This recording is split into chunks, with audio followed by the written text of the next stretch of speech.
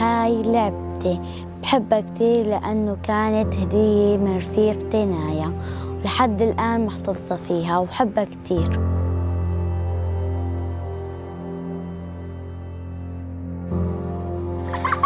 كنا عم نلعب أنا ورفيقتي برا بالشارع. ما بنحس إلا ماما بتقلنا فوتوا فوتوا لجوا. إجت الطيارة بعدين أنا رحت على بيتها وهي راحت على بيتها.